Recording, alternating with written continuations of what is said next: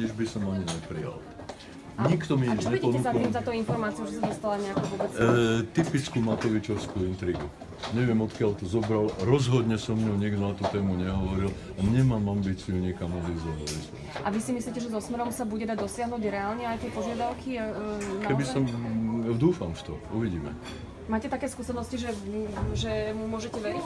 Nemám také skúsenosti. Mám, mám skúsenosti, že skôr nie, ale mám aj skúsenosť, že, že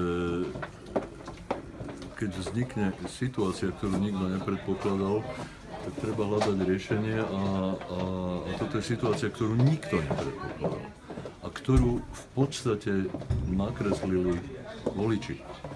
Jako, ja neviním voličov, že rozhodli tak, ako rozhodli, ale tým, že voliči zvolili do parlamentu e, Kotlebovcov, Borisa Kolára, že tak posilnila SNS, tak vlastne už v tom okamihu bolo vymalované. Jasné, ale idete do vlády s niekým, komu nedôverujete.